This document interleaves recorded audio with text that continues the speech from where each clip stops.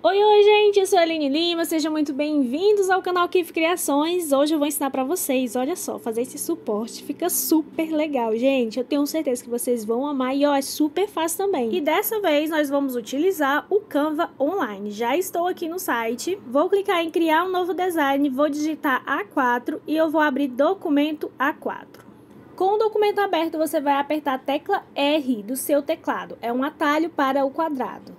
Vai aparecer um quadrado e agora nós vamos redimensionar ele colocando as medidas que nós queremos. Seleciona o quadrado, vai lá na opção posição e agora nós vamos colocar largura e altura. Clico no cadeado para aumentar proporcionalmente largura e altura e eu vou colocar aqui em largura 6 centímetros. Aí ele já altera em altura também. Como aqui está em milímetros, 60 milímetros.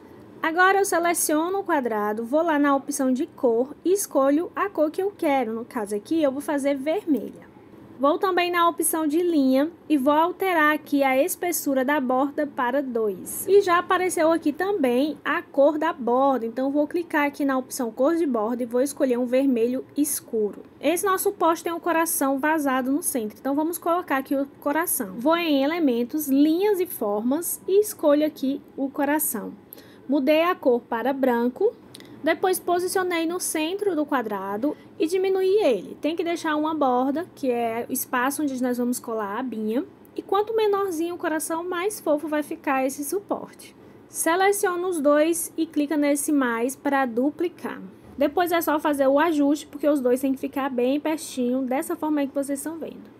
Seleciona, duplica e posiciona logo abaixo. Então, vai ficar quatro. E tem que ajustar para eles ficarem, gente, bem juntinhos. Suposto e pronto. Vocês viram, né? Muito fácil. Vamos criar agora só a abinha que vamos usar para colar. E eu até posicionei ela aqui na parte interna do quadrado, porque essa abinha não pode passar para cima do coração. Porque senão, quando você for colar, vai ficar aparecendo a abinha. Tirei o preenchimento e está pronto. Olha só que fácil, gente. Se você quiser, pode diminuir, aumentar. É só selecionar tudo e diminuir ou aumentar pelos cantos sempre, tá, gente? Sempre pelos cantos.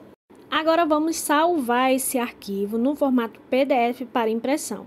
Depois de salvo, você pode imprimir em casa ou levar na gráfica. Vocês viram como é fácil a criação desse suporte.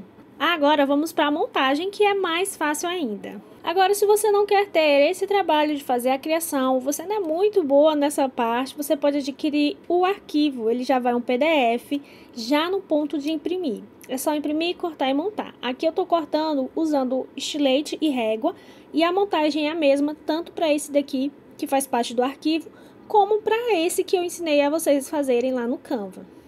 Aqui nessas marcações é onde nós vamos dobrar. E eu estou passando o estilete bem de leve. Isso vai ajudar muito, gente. E para cortar o coração não tem segredo, tem que ter só um pouquinho de habilidade. Fiz um corte com estilete no formato de cruz, coloquei uma tesoura por dentro e fui cortando a parte do coração branco e ficou assim. Depois só ir fazendo os ajustes que for necessário. Olha só como passar o estilete bem de leve ajudou na hora de dobrar. Passa a cola na abinha e pronto. Gente, finalizamos o nosso post para vela mais lindo e romântico de todos. E esse daqui é o resultado da nossa mesa pronta, montada com o nosso suporte. Só lembrando que eu vou ensinar vocês a fazerem tudo isso aqui, então já se inscreve aqui no canal. Mas se você não quiser fazer os arquivos, não tem problema, eu vou deixar o link aqui na descrição e você vai receber tudo pronto, molde pronto, com imagem e PDF pronto, só para você imprimir, cortar e montar. Se você gostou desse conteúdo, deixa aqui seu like, é muito importante. E aproveita para deixar um comentário aqui do que você achou. Gente, um grande beijo e até a próxima.